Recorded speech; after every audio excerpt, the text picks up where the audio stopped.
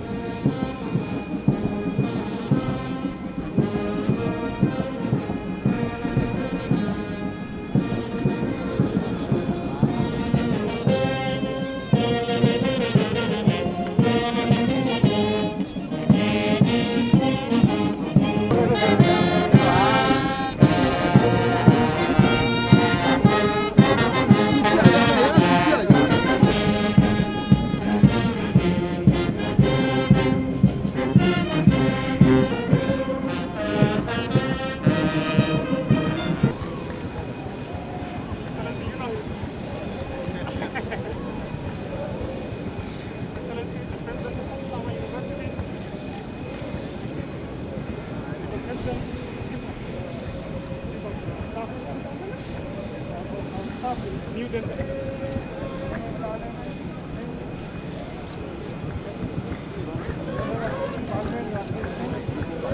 Secretary to the